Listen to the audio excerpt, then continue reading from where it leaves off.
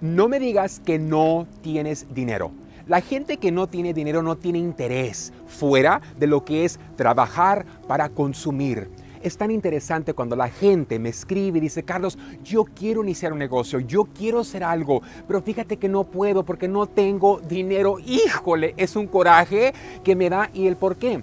Porque si yo voy aquí donde yo estoy en San Pedro, California, a unas cuantas cuadras, hay unas viviendas que son del gobierno. La gente paga una cantidad mínima para vivir ahí y el gobierno les ayuda. La mayoría de la gente que vive ahí también recibe estampillas, cupones para tener comida. Ahora, no los estoy criticando, pero ¿sabes qué es lo que critico? Que si yo voy para allá, cada departamento, la mayoría va a tener el dish, el dish del cable.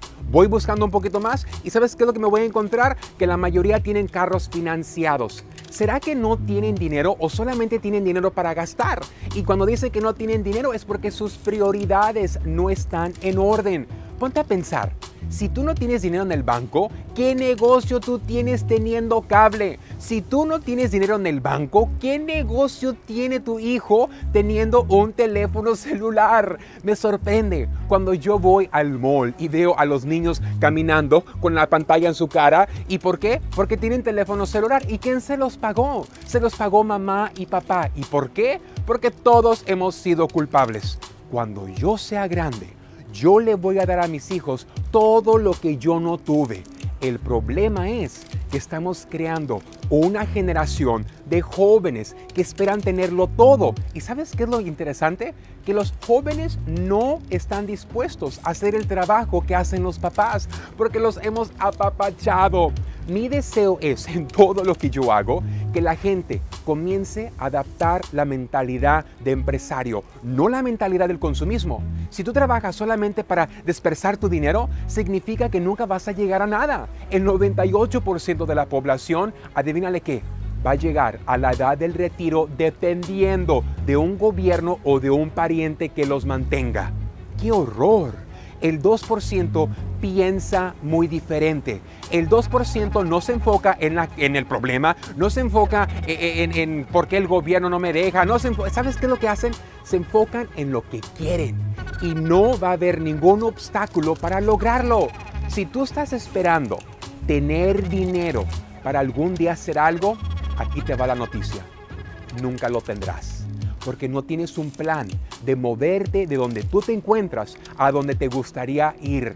Entiende que el camino hacia el fracaso es muy fácil. Haz lo que hace todo el mundo. Ve, gasta tu dinero. Hay gente que el fin de semana, ay, pues vamos a la calle a ver qué encontramos de bueno. Pues con razón no tienes dinero. Entiende que existen campañas publicitarias que te lavan el coco. Te dicen compra, compra, compra, compra. Y tan pronto tú tienes dinero, adivínale cuál es la reacción. A soltarlo.